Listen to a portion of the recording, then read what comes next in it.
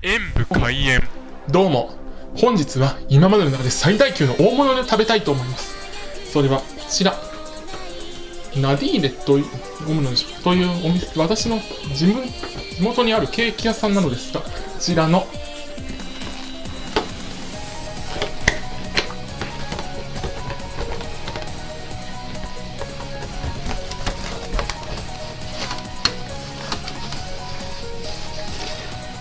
この大きなズコットチーズケーキというものを食べてみたいと思います。うわー結構重いなこれ。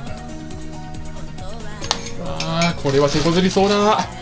ではいただきます。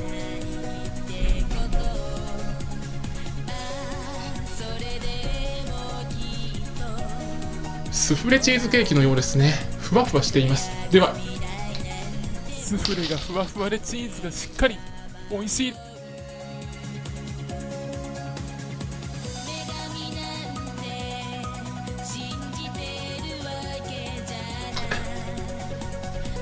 上のスフレ部分はふわっシュワッとした食感で口に含んだ瞬間にチーズの旨味がバーッと広がります。下のスポンジ部分も程よい硬さでとっても美味しかったのですがやはりホールケーキは一人で食べるものではないですね。